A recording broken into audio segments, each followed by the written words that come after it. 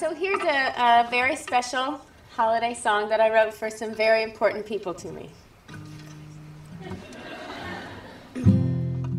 Went to the store, sat on Santa's lap, asked him to bring my friends all kinds of crap. Said all you need is to write them a song. Now you haven't heard it yet, so don't try to sing along. No, don't sing along. Monica,